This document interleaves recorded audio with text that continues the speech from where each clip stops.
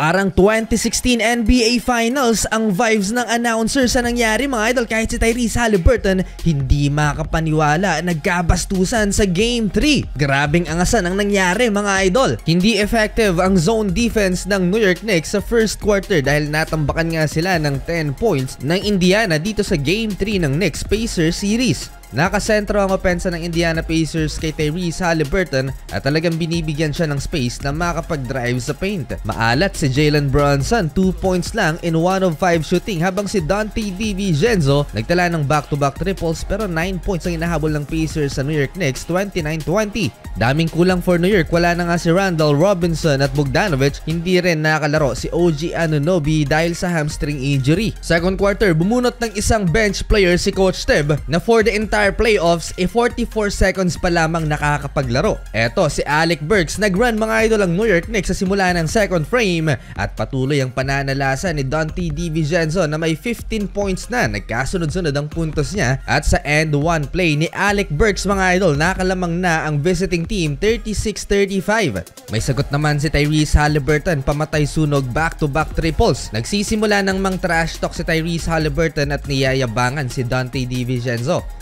Agad sumagot si Jalen Brunson with 6 straight points nang ibinalik sa court ni Coach Teb. Naitabla niya mga idol ang talaan sa 46 at si Alec Burks. Big impact talaga lamang ulit ang New York Knicks 10 points na para sa magic bunot ng New York. Masyadong dehado ang Indiana Pacers pagdating sa opensa kaya naman itong si Tyrese Halliburton siya na ang nagbuhat with 7 straight points at na-hype na si Caitlin Clark. 23 points sa first half si Tyrese Halliburton with 5 3-pointers habang sa New York Knicks. Perfect 4 of 4 sa field si Alec Burks 13 points in 12 minutes. 63-58 halftime, Indiana up by 5.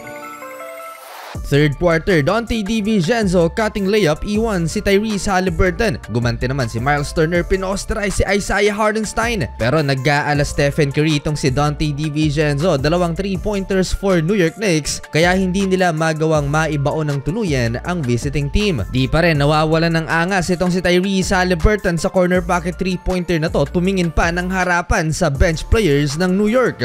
Ito ang malupit na highlight ni Tyrese Halliburton lumusot sa dalawang bantay circus shot pasok ang napakahirap na layup na to.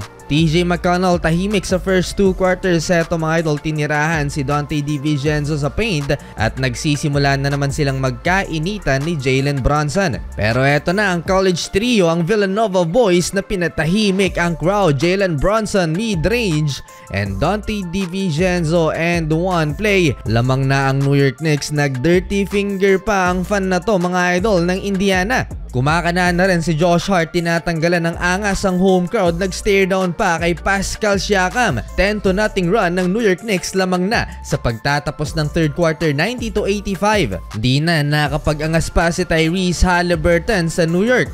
Prinubo kasi ni Tyrese Halliburton yan tuloy nag-ala Stephen Curry 3-pointer kagad sa pagsisimula ng fourth and final quarter. 7 3-pointer na to ni Dante DiVincenzo in 9 shot attempts beyond the arc. Na-hype na sa sana ang crowd sa 3-pointer na to ni Miles Turner 95 to 89 nang sumagot naman ng tres din si Miles McBride off the bench. 8 minute mark na buhay si Tyrese Halliburton 2-point layup sinagasaan ng depensa ni Josh Hart. At mukhang alam na nila kung saan papunta ang bola for New York Knicks. Nabasa ni Tyrese Halliburton ng play na to nakapag-steal. 2-point layup at dalawa na lang kanilang hinahabol 98 to 96. Pascal Siakam and one opportunity tabla ulit sa 99 ng talaan. 11 7-1 run ng Indiana Pacers lamang na mga idol ang home team 100 to 99 halfway. Matinding pisikalan ang nangyari down the stretch maraming fans ang pumupuna na parang pumapabor daw ang official dito sa New York. Kahit ang crowd tumulong na sa pagbubu sa official matapos tawagan ng shooting foul si Jalen Bronson sa play na to. Last 4 minutes lamang ulit ang New York Knicks 101 to 100 dahil kay Jalen Bronson. Last 3 minutes sa play na to, nagulat pa si Aaron Naismith na may contact sa pag-drive ni Jalen Brunson. Nag-challenge ang Pacers at successful na uwi yan sa jump ball midcourt. Last 2 minutes tied at 102 parang LeBron James iconic block shot lang kay Andre Iguodala ang pagtawag ni Mike Breen. Drives inside, block, block by Turner. What a rejection!